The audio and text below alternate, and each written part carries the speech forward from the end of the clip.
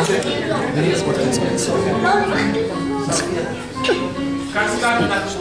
как моя... Экзотического не знаю. говорили.